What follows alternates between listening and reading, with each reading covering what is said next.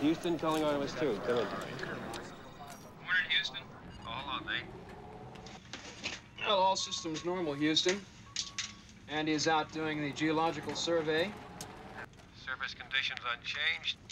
Well, it's mighty pretty out there. Mighty.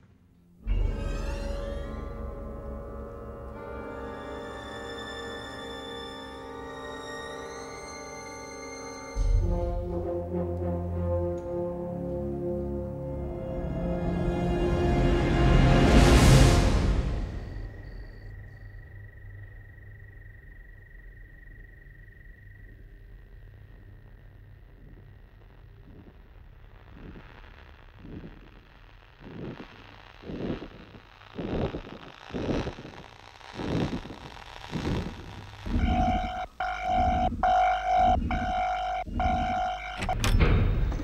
to me, guys. Okay, point source confirmed. Whatever it is, it ain't local.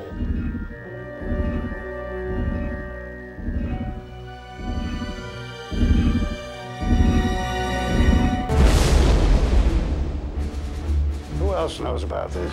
SETI in New Mexico identified a signal. Major? Yes, sir. Radar reception has been impaired, but we were able to get these. And we estimate that it has a diameter of over 550 kilometers and a mass roughly one-fourth the size of our moon. What the hell is it? A meteor? No, sir. No, definitely not. How do you know? Well, sir, it's slowing down. It's what?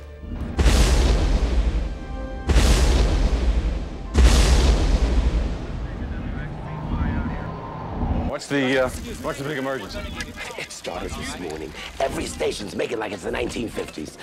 We got static, we got snow, all kinds of distortion. Yes, we've got everybody we have working on the problem. Did you, uh, try to switch transponder channels? Oh, please, you think I'd be this panicked if it was something simple? Okay, let's point the dish at another satellite. It's almost as though they weren't even there. I never got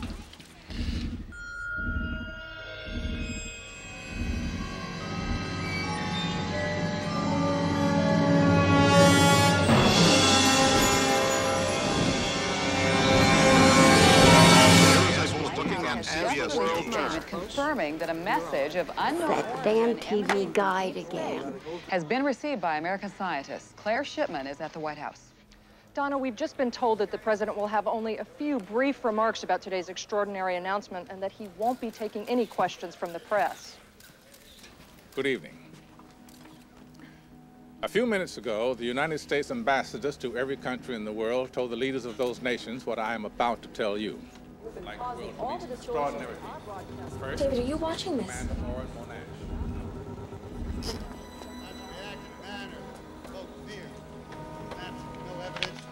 What? Marty, listen, listen to this. I got a lock on the pattern of that signal, and so we can filter it out. But David, haven't you been watching? David,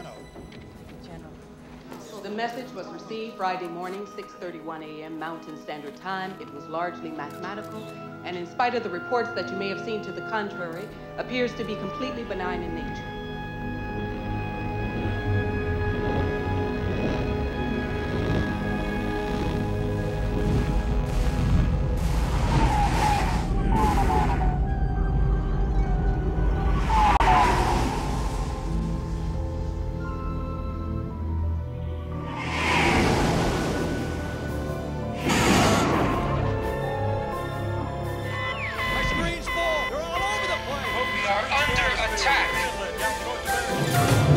No reason to believe that their, their intentions are hostile. Full-scale invasion. Mr. President, we're going to need to get you to safety. You are on our eastern seaboard headed towards New York and Washington, D.C. all right, um, everybody, head down to the basement. Take it slow, don't run.